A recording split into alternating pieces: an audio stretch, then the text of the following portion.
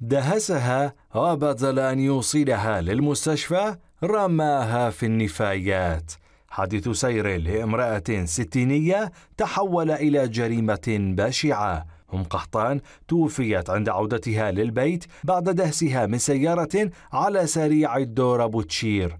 صاحب السيارة نفذ خطة بعد الحادث لم تخطر على بال أحد كما رواها لنا حفيد المتوفية. الحادث صار على طريق أبو تشير. انضربت آه، الحجية. نقلها قال حروح أوديها للمستشفى. فنقلها مأخذها موديها للبيت حقيقة. وموصل للبيت هناك آه، مغير السيارة ومصعد إخوان وياه. وياهم مرة ومغيرين السيارة وجايبيها من الحرية باتجاه المحمودية حتى يعبرون بها سيطرة. وشامريها بالمزبلة.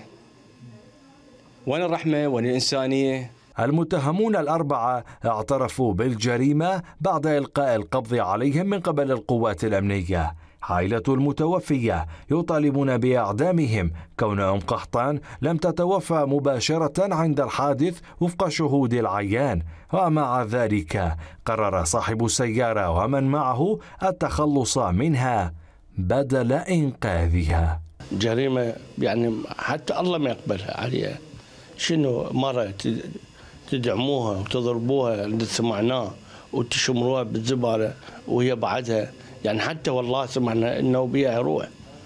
بيها روح. أنت مكان ما تذبها ذبها بالمستشفى وروح. هم أربع نفرات. يعني معقولة من الأربع نفرات يطلعون اثنين كفالة؟ الله يقبلها محمد. شنو اللي يطلعون كفالة؟ ليش؟